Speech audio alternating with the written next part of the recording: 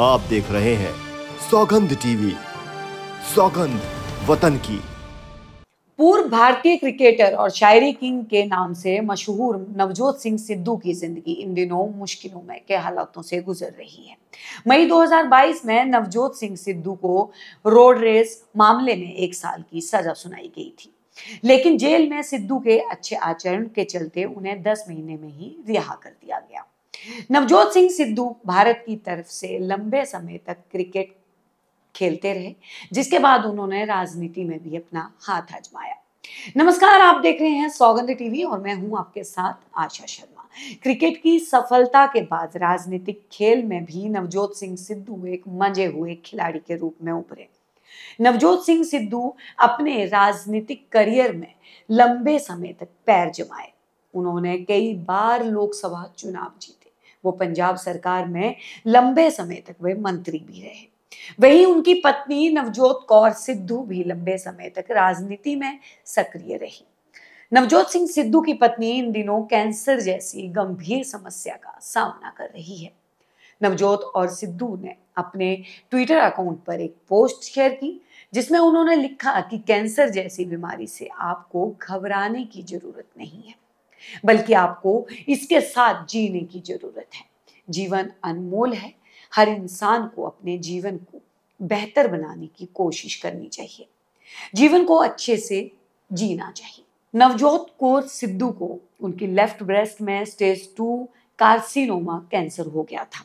हाल ही के दिनों में उनकी सर्जरी हुई है। इस दौरान नवजोत सिंह सिद्धू भी उनके साथ हैं। अस्पताल में नवजोत सिंह सिद्धू अपनी पत्नी को खुद खाना खिलाते हुए नज़र आए, जिसकी भावुक पोस्ट उन्होंने अपने सोशल मीडिया प्लेटफॉर्म पर शेयर की। सिद्धू ने अपनी पोस्ट पर लिखा कि यह उनका दूसरा स्टेज चल रहा है।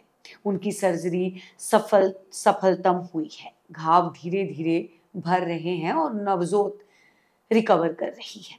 लेकिन दिल के में मौजूद बीमारी के घावों को भरने में अभी तक वक्त लगेगा। नवजोत सिंह सिद्धू, अपनी पत्नी, व बेटी के साथ अनेकों धार्मिक स्थलों पर जाकर अच्छे स्वास्थ्य की कामना कर रहे हैं।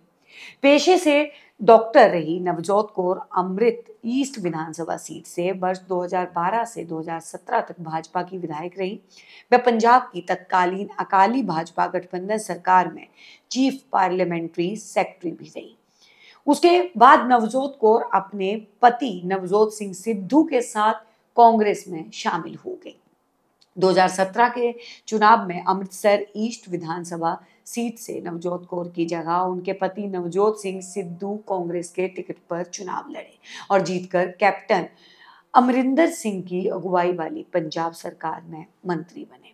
2022 में हुए पंजाब विधानसभा चुनाव से पहले नवजोत कौर ने राजनीति छोड़कर अपने पुराने प्रोफेशन मेडिकल लाइन में लौट जाने की बात कही थी। नवजोत सिंह सिद्धू की बात की जाए तो 2017 में कांग्रेस पार्टी की सरकार के दौरान उनकी पत्नी पंजाब में कैबिनेट मंत्री भी थी। लेकिन सीएम पद के लिए नवजोत सिंह सिद्धू और पंजाब के सीएम कैप्टन अमरिंदर सिंह के बीच सियासी तनातनी होने से कैप्टन अमरिंदर सिंह को मुख्यमंत्री पद से इस्तीफा देना पड़ा। लिहाजा पार्टी ने चरणजीत सिंह चन्नी को दिसंबर 2022 में मुख्यमंत्री बनाया। कांग्रेस पार्टी ने नवजोत सिंह सिद्धू की अध्यक्षता में 2022 विधानसभा चुनाव लड़ा, जिसमें सत्तारूढ़ कांग्रेस को करारी हार का सामना करना पड़ा। पार्टी की हार के बाद नवजोत सिंह सिद्धू ने पंजाब कांग्रेस अध्यक्ष से इस्तीफा दे दिया।